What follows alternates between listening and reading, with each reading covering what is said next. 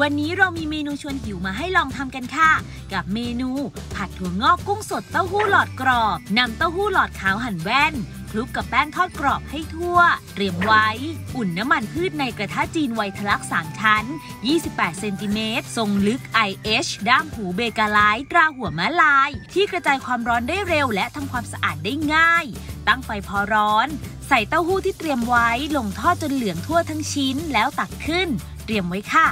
ใส่น้ำมันพืชลงในกระทะจีนไวทลัก3ชั้น 28 เซนติเมตร ทรงลึก IH ด้ามหูเบกาไลท์ตราหัวมะลาย ตั้งไฟพอร้อน ใส่กระเทียมสับลงผัดพอหอม ใส่กุ้งสดแกะเปลือกผัดพอกุ้งสุก ใส่ถั่วงอกพริกชี้ฟ้าแดงซอยเป็นเส้นปรุงรสด้วยซีอิ๊วขาว ซอสหอยนางรม น้ำตาลทราย และพริกไทยป่น ผัดพอให้เข้ากัน ใส่ต้นหอมหั่นทอดและเต้าหู้ทอดที่เตรียมไว้ ผัดพอเข้ากันแล้วปิดไฟ ตักผัดถั่วงอกกุ้งสดเต้าหู้หลอดกรอบ ลงในภาชนะสำหรับเสิร์ฟ แค่นี้ก็เสร็จเรียบร้อย ไม่ว่าจะทำเมนูอะไรก็ไม่ใช่เรื่องยากอีกต่อไปค่ะ เพียงแค่มีเครื่องครัวสแตนเลสราหัวมะลาย